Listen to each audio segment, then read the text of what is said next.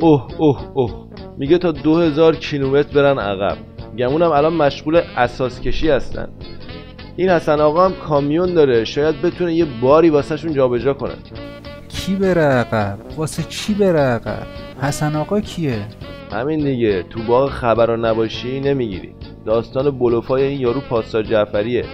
گفته اگه آمریکا حماقت کنه و سپاه بذاره تو لیست تروریستی سپاه هم ارتش آمریکا رو در سراسر جهان نخ سوزن تو خاورمیانه همسنگ داعش در نظر می‌گیره.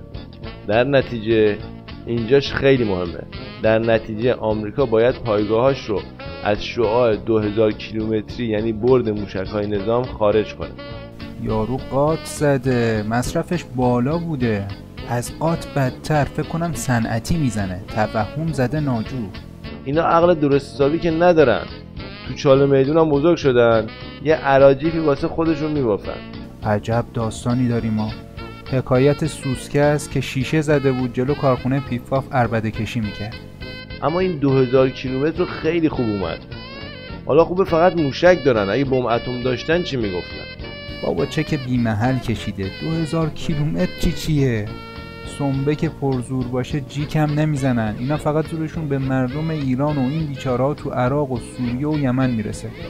کار که جدی بشه چنان دور پلیسی می‌زنن و فرار می‌کنن که بیا و ببین. اما بالاخره موشک دارن دیگه. شوخی نیست که. یهو دیدی خر شدن موشک رو ول کردن. اصلا مخاطب این حرفا که آمریکا نیست. مورچه چیه که کله پاچش باشه؟ خب پس چرا این حرفا رو می‌زنن؟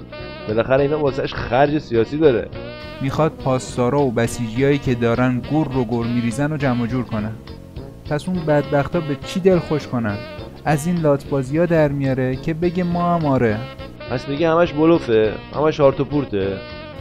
آره دیگه آدم هارت و پورتای اینا رو که می‌بینه واقعا خندش می‌گیره. می‌دونی یادش چی افتادم؟